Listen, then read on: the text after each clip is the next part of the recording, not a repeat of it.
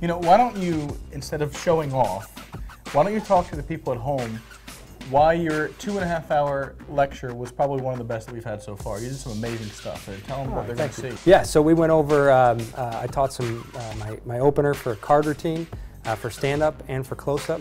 Uh, the close-up one is, is a restaurant routine that I, that I kind of cut my teeth in, how to approach a table, uh, some valuable information on restaurants, some coin stuff.